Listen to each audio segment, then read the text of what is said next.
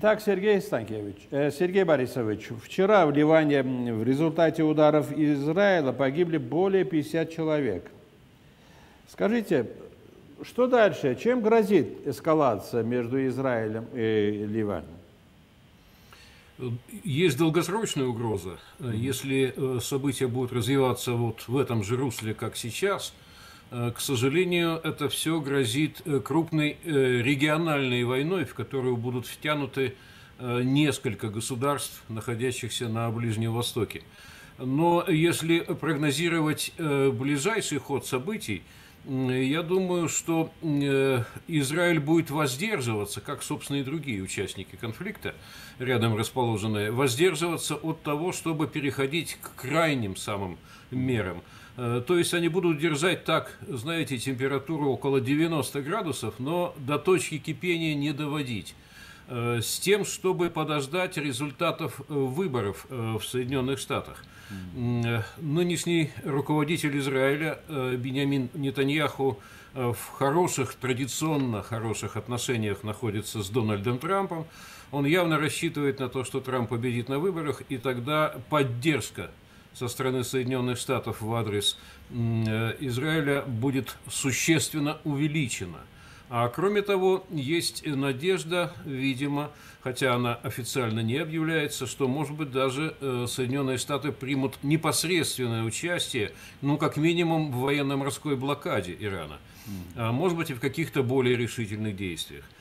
Вот так это, э, этот очаг развивается. Еще такая тревожная деталь – это атаки против э, подразделений ООН – Э, там находится на территории Ливана, причем много лет уже находится, э, десятилетиями даже, контингент ООНовский, в составе которого представители и военные, и гражданские из многих стран. Угу. И вот сейчас уже пошли атаки на этот контингент, есть раненые, и э, здесь еще дополнительно может быть э, такой источник напряженности и провоцирующий подключение других стран.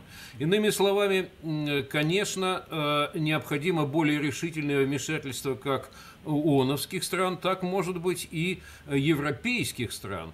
Но из них э, только вот пока Франция как-то высказывается более-менее э, серьезно и строго, а остальные избегают явно э, каких-либо определенных заявлений и выражения претензий в адрес Израиля. Сергей Борисович, вот что говорит Гутерриш – Э, нападение на миротворцев ООН в Ливане можно квалитив, э, э, квалифицировать как военное преступление. А, что может предпринять ООН, кроме таких заявлений? Он может предпринять, пожалуй, более решительные шаги, используя Международный уголовный суд и другие Э, судебные инстанции, связанные так или иначе с ООН. Э, там уже э, некоторые шаги были сделаны, даже были ордера на арест выписаны. Ну, дальше, может быть, еще какие-то исполнительные меры, используя прокурорские службы, связанные с ООН. Но, кроме того, все-таки здесь должна действовать, на мой взгляд, не только ООН. Э, не наблюдается пока сколько-нибудь значительной помощи со стороны отдельных национальных государств. Э, вот сейчас выжидательную позицию заняли э, крупные арабские государства, в том числе те, которые некоторое время назад стремились по Авраамическому соглашению сблизиться, угу. выйти на историческое примирение – с Израилем. Я имею в виду э, Египет, Иорданию, Саудовскую Аравию в первую очередь. Вот если бы они как-то постарались э, здесь э, более решительно действовать, увязывая свои дальнейший свой какой-то возврат, может быть, к политике исторического примирения, с тем, чтобы Израиль все-таки воздержался от э, атак на миротворцев ООН и другие ООНовские структуры. Э, это было бы очень полезно. Сергей Борисович, а вот в результате удара Хазбаллы в Израиле погибли пять военнослужащих израильских. Что интересно, Израиль наблюдает российские следы э, нападений на свою военную базу. А это возможно? Нет, я думаю, что это, скорее всего, какие-то э, ну, э, такие сознательные дезинформационные меры, которые э, те или иные следы специально создают, чтобы таким образом э, еще и э, Россию здесь выставить участником событий.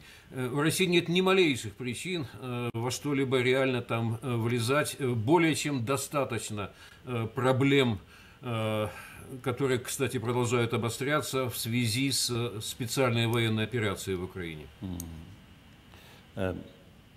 НАТО проводит ядерные учения. Китай начал военные учения вокруг Тайвана. Э, созревает ядерная угроза, Сергей Борисович?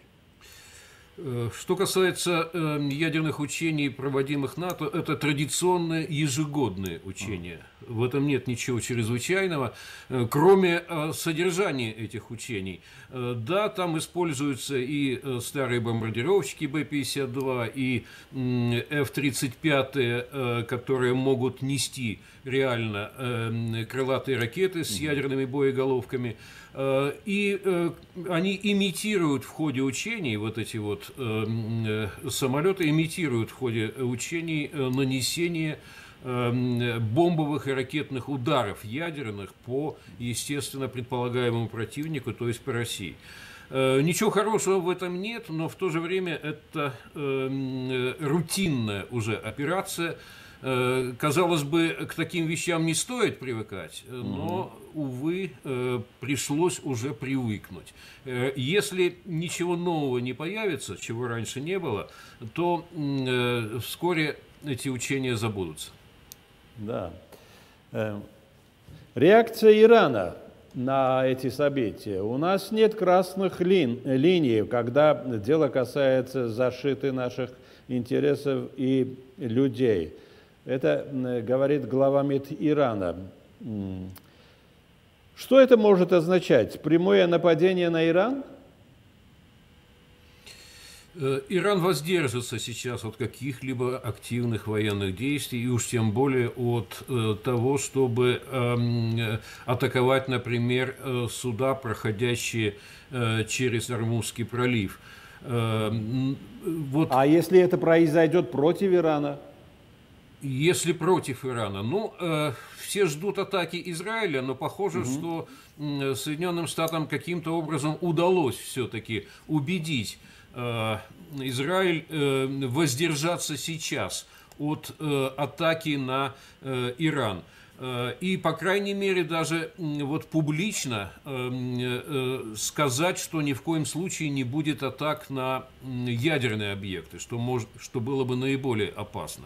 Кстати, когда говорят о ядерных объектах на территории Ирана, то, конечно, не имеют в виду атомные станции, там в Бушере, например, серьезная атомная электростанция. Скорее всего, имеется в виду объекты, на которых расположены центрифуги для обогащения урана до реакторного уровня. Э, если э, все-таки Израиль атакует вот эти объекты, формально у него будет э, такой предлог, что эти самые пункты по обогащению уранового сырья могут служить источником для создания ядерного оружия, хотя Иран пока еще сохраняет контакты с МАГАТЭ, там Э, есть инспекции со стороны МАГАТЭ, и вроде бы все подтверждают, что все в порядке. Э, важно сейчас, чтобы все-таки э, вот по ядерным объектам ударов не наносилось, потому что у Ирана есть возможность использовать тот уже накопленный ранее уран, э, который находится в его распоряжении. И, в принципе, если бы он сильно захотел, то, конечно, в довольно короткий срок он мог получ может получить достаточно оружейного плутония для создания ядерного оружия. Правда, для реального создания ракет с ядерной боеголовкой. Необходимы, кроме вот этого э, взрывчатого вещества, еще и целый ряд других критических элементов – которых у Ирана нет. И вот здесь становится вопрос о том, э, как дальше поведет себя Россия.